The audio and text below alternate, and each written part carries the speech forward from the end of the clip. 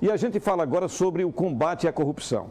A Polícia Federal deflagrou novas fases da Operação Acesso Negado. Foram cumpridos mandados de busca e apreensão em 18 endereços em cinco cidades sergipanas, na Bahia e Pernambuco.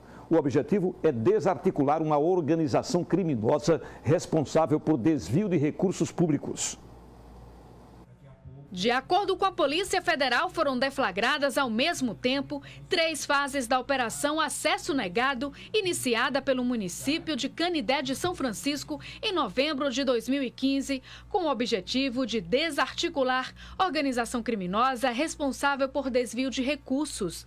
Desta vez, as investigações se concentraram nos municípios de Poço Redondo, Frei Paulo e Macambira. Ao todo, foram cumpridos 27 mandados de busca e apreensão em endereços diferentes de municípios sergipanos e também em Salvador e na cidade pernambucana de Petrolina. Você tinha uma contratação pré-fabricada de uma organização da sociedade, uma OCIP, chamada ISIS, Instituto é, Socioeducacional Solidariedade.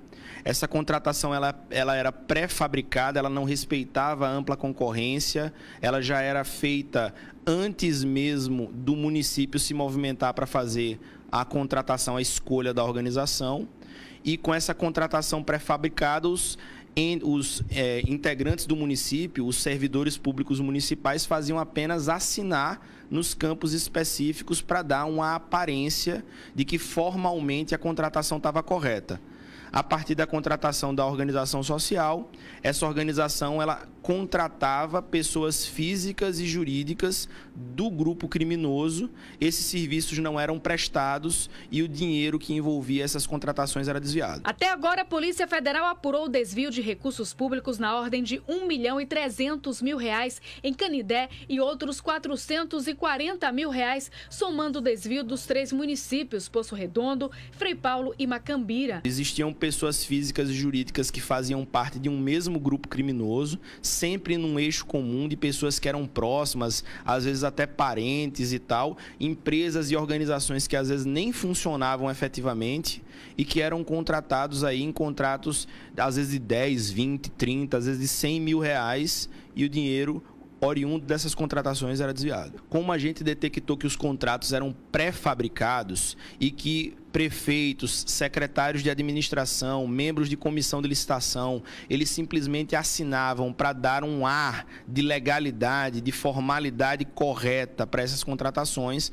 Eles também estão sendo investigados sim e vão ser ouvidos para que deem as suas versões. Os crimes identificados pela Polícia Federal são de corrupção, desvio de verba pública, organização criminosa e lavagem de dinheiro. Outros municípios sergipanos, além desses quatro que já estão sendo alvo da investigação também tinha um contrato com essa ISIS? O ISIS ele foi contratado diretamente por cerca de 10 municípios sergipanos. Então as investigações continuam em relação aos outros municípios que ainda não foram alvo da ação da Polícia Federal e a gente só vai finalizar quando a gente analisar todas as contratações e se a situação se repetir, com certeza os municípios serão alvo. É, não conseguimos contato com os representantes da organização da sociedade civil de interesse público citada agora pelo delegado da Polícia Federal.